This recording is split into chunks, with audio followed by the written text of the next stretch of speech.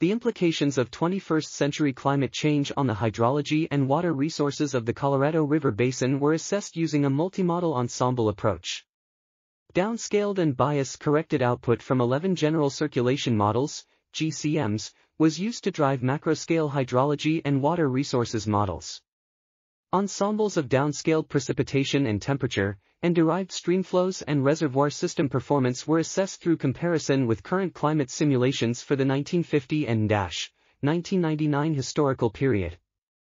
For each of the 11 GCMs, two emission scenarios, IPCC SRES A2 and B1, were represented.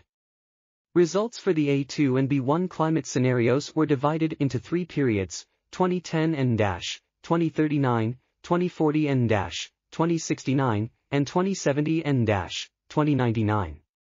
The mean temperature change averaged over the 11 ensembles for the Colorado Basin for the A2 emission scenario ranged from 1.2 to 4.4 and deg, C for periods 1 and 3, and for the B1 scenario from 1.3 to 2.7 and deg, C, precipitation changes were modest, with ensemble mean changes ranging.